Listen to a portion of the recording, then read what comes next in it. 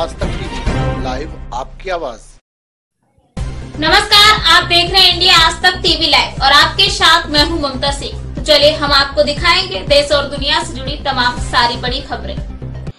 बहरौड CO office पहुँचे Jaipur range IC Umesh Chandra Dutta. जिस दौरान आईजी दत्ता ने डीएसपी कार्यालय का निरीक्षण किया, वहीं मौके पर मौजूद पुलिस अधिकारियों को अपराध की रोकथाम पर आवश्यक दिशा निर्देश दिए।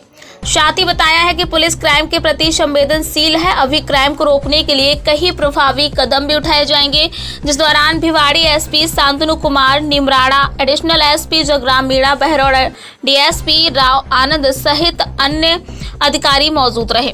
वहीं कुछ समय पश्चात आईजी उमेश चंद्र दत्ता ने वह रोड थाने का निरीक्षण किया।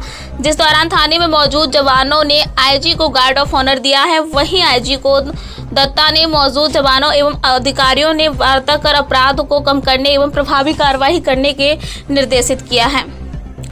इंडिया आज तक टीवी लाइव के लिए संदीप भारद्वाज की रिपोर्ट। सर आज डीएसपी कार्यालय का निरीक्षण किया क्या मिले यहाँ आज मैं जो सालाना निरीक्षण है वित्त कार्यालय जयपुर का उसके लिए आया हूँ।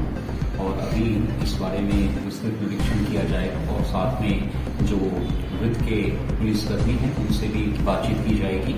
इसमें जो प्राथमिकता के इलाके हैं, अपराधों की रोकथाम और जो भी आपराधिक तत्व हैं, उनके खिलाफ जो प्रभावी कार्रवाई है, उसका आंकलन किया जाएगा और साथ ही में उनकी जो भविष्य के लिए जो स्ट्रेटजी है, उसके बारे में चर्चा कर आगे समाप्त देखी जाएगी। सर, हरियाणा से लगता हुआ सीमा है हाईवे की है, लेकिन उसके बावजूद थानों में नफरे की कमी ही देखने को आ रही है। इसको समग्र रूप से देखा जा रहा है। और आपने देखा होगा कि इसको लेकर सभी स्तरों पे बहुत सेंसिटिविटी है और वर्तमान बजट में बहुत सारी जगहों पे इजाफा किया गया है स्ट्रेंथन किया गया है। और निश्चित तौर पे जो ये वाले बॉर्डरिंग थाने हैं, उनकी जो सेंसिटिव हैं क्राइम के एंगल से, उसमें सारे के सारे प्रभावी कदम उठाए जाएँगे। सर, जिस तरह से क्राइम बढ़ रहे हैं उस हिसाब से नया थाना खोलने की चांस है या नहीं है अभी तक? देखिए जो मौजूदा क्राइम का परिपेक्ष है उसमें किस तरीके से प्रभावी कार्रवाई की जाए और उसमें प्रभावी रोकथाम किया जाए उसको समग्र रूप से उसका आकलन किया जा रहा है और उसी हिसाब से आगे की स्ट्रेटजी बनाई जाए। सर पपला कांड के बाद नया प्रस्ताव लिया था थाने बनाने का लेकिन वो फाइलों से बाहर नहीं निकल पा रहा है अभी तक।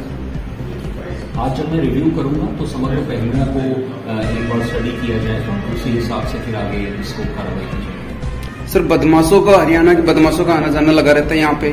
आपराधिक गतिविधियों को अंजाम देकर बेखौफ निकल जाते हैं। लेकिन पुलिस नहीं पकड़ पाती हुई।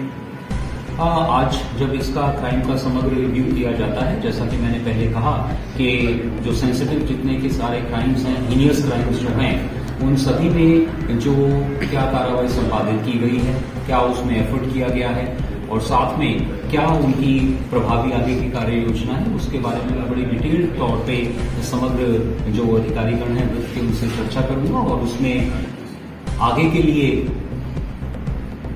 दृढ़ कदम उठाए जाएँ और एक ग्राउंड लेवल तक, धरातल तक एक मैसेज कन्वे हो उसका प्रयास किया जाएगा